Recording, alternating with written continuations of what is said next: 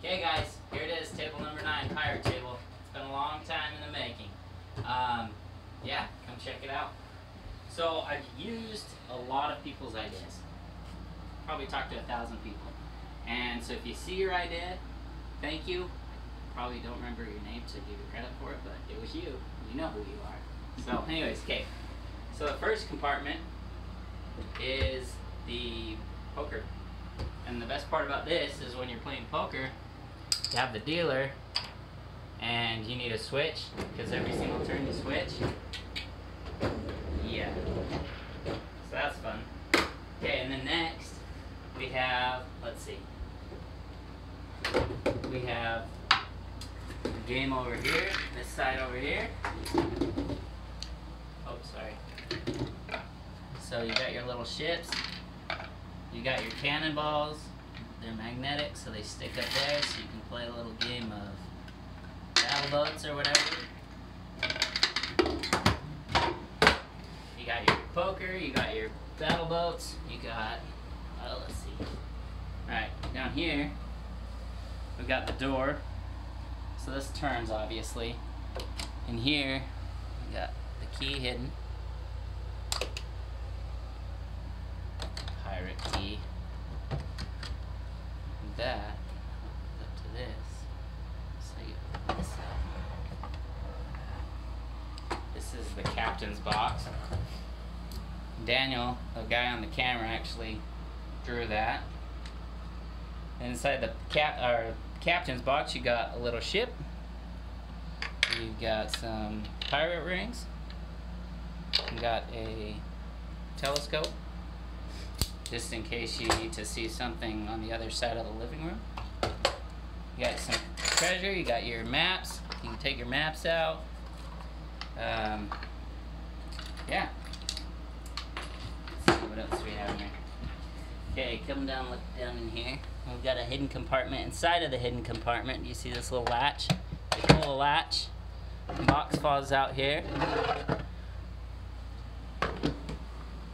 Turn this here. Key goes in there. Twist it the right way. Oh, I was going the right way. And it's a music box, and you can just hide whatever you want to hide in there. Hides up inside.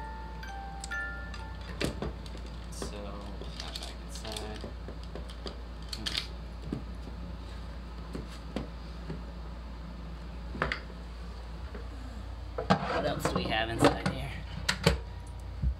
Inside there. Inside there. Okay, next compartment. Oh, the chess pieces. There's 15 hidden compartments, and to be honest, I might miss one, so you're gonna have to forgive me, but so these are ox bone carved into chess pieces, which is awesome. I'm gonna need these for later, so we'll leave that out. Alright, what else do we have here? Oh, that compartment's empty. There are two empty compartments. You just gotta witness one of them. Here's the second one. Alright, here's the next one. This is the RPG box. So inside the RPG box, we've got dice. You've got your players. Got them so they can sit up here. You got so you can put your pencils up there. Um, I wasn't sure quite what to do here. I might still add something there, but uh, yeah, you guys screw one up there. I'll leave that one out too. And then next, uh, you got your handcuffs. I thought those were piratey, and I found them in an antique store, so I added them here. Oh. I also found this at an antique store and thought, what pirate doesn't need a flintlock pistol? So, got that. And then, as well, a sword. The blade of this sword, I had a lot of fun building this because this blade's from the Civil War. Um, you can see really close up there. And it didn't have a handle on it, so I built the handle as piratey as I could think. But uh, yeah, that blade has actually been through battle, so pretty cool. And then along with the pirate are the uh, RPG box. You've got a dice tower, and I built it so if you're on high seas, it won't tip over. Just in case, you know, you never know who's gonna. So yeah, got your, your dice tower for your RPG box. Uh, let's go put that back inside. Getting a little too crowded up on top. What else? What else? What else? Um, back to the captain's box. So that's everything inside. Uh, let's see.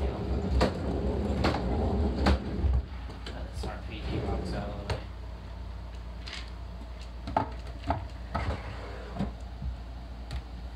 Shut that. Put that back in there. And then my favorite part of the whole table is check this out. Push a little button down here.